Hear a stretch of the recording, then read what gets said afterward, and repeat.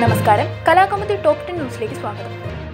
കുഞ്ഞിനെ തിരിച്ചു കിട്ടാൻ സെക്രട്ടേറിയറ്റ് മുമ്പിൽ അനുപമയുടെ നിരാഹാര സമരം. നീതിക്ക് വേണ്ടിയാണ് തന്റെ പോരാട്ടമെന്ന് അനുപമ പറഞ്ഞു. സമരം സർക്കാരിനെതിരെയല്ലെന്നും അനുപമ പറഞ്ഞു. അനുപമയ്ക്ക് സി പി എമ്മിന്റെ പിന്തുണ. പാർട്ടി അറിഞ്ഞാണ് അനുപമയുടെ കുട്ടിയെ ദത്ത് നൽകിയതെന്ന ആരോപണം സി പി എം സംസ്ഥാന സെക്രട്ടറി എ വിജയരാഘവൻ തള്ളി. അനുപമയ്ക്ക് കുട്ടിയെ കണ്ടെത്താൻ പാർട്ടി പിന്തുണ നൽകുമെന്നും അദ്ദേഹം പറഞ്ഞു. നടന്നത് നീതി നിഷേധമാണെന്ന് ബൃന്ദ കാരാട്ട് മനുഷ്യത്വരഹിതമായ കാര്യമാണ് സംഭവിച്ചത്. അനുപമയ്ക്ക് കുട്ടിയെ തിരികെ ലഭിക്കണമെന്നും ബൃന്ദ കാരാട്ട് പറഞ്ഞു. എ ഐ എസ് എഫ് പ്രവർത്തകർക്കെതിരെ എസ് എഫ് ഐയുടെ പരാതി.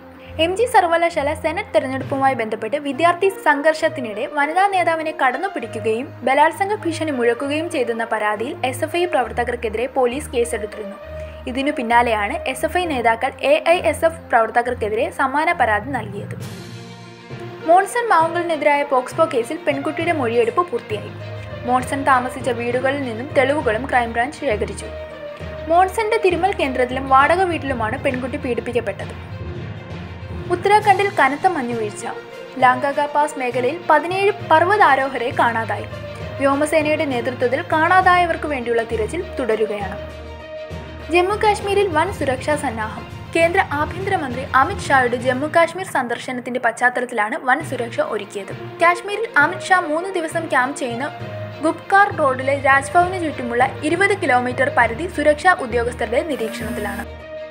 രാജ്യത്ത് പതിനാറായിരത്തി മുന്നൂറ്റി ഇരുപത്തിയാറ് പേർക്ക് കൂടി കോവിഡ് അറുന്നൂറ്റി അറുപത്തിയാറ് കോവിഡ് മരണങ്ങളും റിപ്പോർട്ട് ചെയ്തു. ഇരുന്നൂറ്റി മുപ്പത്തിമൂന്ന് ദിവസത്തിനിടെ ഏറ്റവും കുറഞ്ഞ പ്രതിദിന മരണനിരക്കാണിത്. ഉത്തർപ്രദേശിൽ കോൺഗ്രസിന്റെ പ്രതിജ്ഞാ യാത്രയ്ക്ക് ശനിയാഴ്ച തുടക്കം. ബാരബംഗിൽ ഉത്തർപ്രദേശിന്റെ ചുമതലയുള്ള സംഘടനാ ജനറൽ സെക്രട്ടറി പ്രിയങ്ക ഗാന്ധി യാത്ര ഉദ്ഘാടനം ചെയ്യും. ട്വന്റി ട്വന്റി ലോകകപ്പ് സൂപ്പർ പന്ത്രണ്ടിലെ ആദ്യ മത്സരത്തിൽ ഓസ്ട്രേലിയ ദക്ഷിണാഫ്രിക്കയെ നേരിടും.